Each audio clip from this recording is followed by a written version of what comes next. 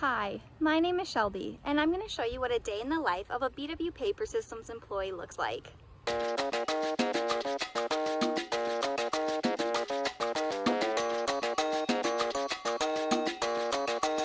As a marketer, one of my biggest duties is creating captivating and engaging content for the sales executives. Here, you can see me creating a brochure for an aftermarket upgrade.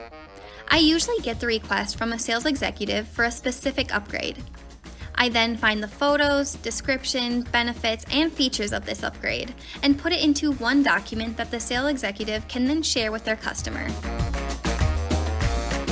Every week, the global marketing team meets via video chat to discuss ongoing and upcoming projects. Let's meet the team. Hi, my name is Shelby, and I am from Phillips, Wisconsin.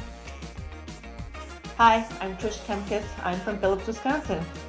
Hi, I'm Lydia and I'm from Barcelona, Spain. Hi, I'm Dorothy. I'm from Germany. Hi, I'm Megan. I'm from Baltimore, Maryland. Hi, I'm Katja. I'm from Stuttgart, Germany. On the third floor, there is a lookout over one of the many manufacturing bays.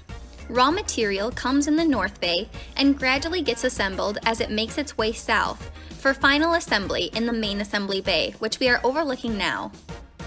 In my opinion, this is one of the coolest views of the shop floor. If you want to go on the shop floor, safety shoes and safety glasses are required. Here, you can see me entering main assembly bay.